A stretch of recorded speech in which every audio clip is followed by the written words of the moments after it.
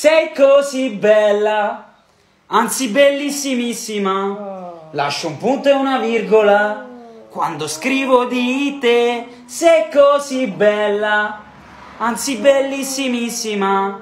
Lascio un punto e una virgola quando scrivo di te, sei così bella, anzi bellissimissima.